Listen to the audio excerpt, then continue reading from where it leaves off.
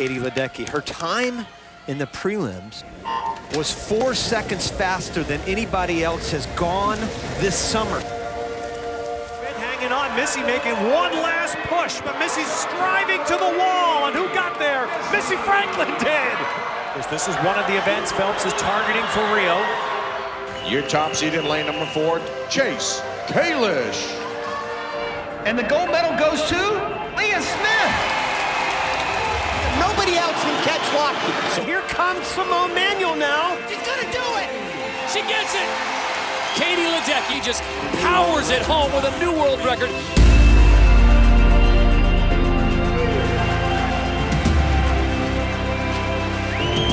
Before we were winners, we were all beginners.